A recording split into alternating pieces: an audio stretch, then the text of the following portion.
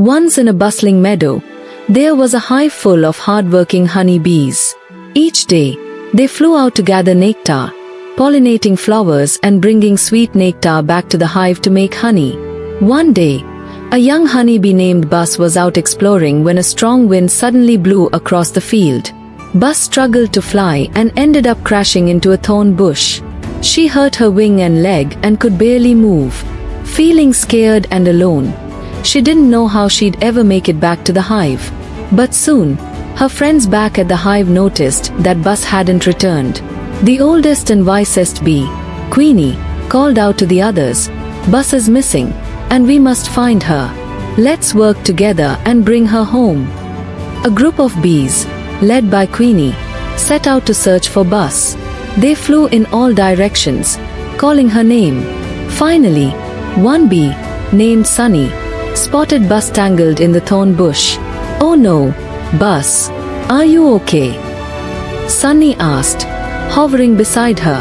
My wing is hurt, and I can't fly back, Buzz replied, her tiny voice filled with worry. Without hesitation, Sunny and the other bees formed a plan. They carefully pulled Buzz free from the thorns and gently lifted her, supporting her with their own wings. Together, they slowly flew back to the hive, carrying Buzz safely in their embrace. Back at the hive, the bees worked together to care for Buzz. Some brought honey to help her heal, while others took turns keeping her warm and watching over her. Every bee in the hive showed kindness, love, and support. Over time, Buzz's wing and leg healed, and she grew strong again.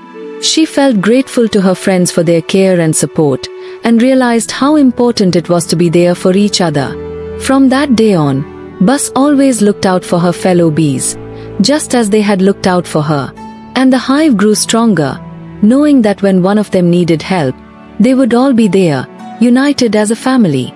Moral A strong community is built on kindness, teamwork, and looking out for one another.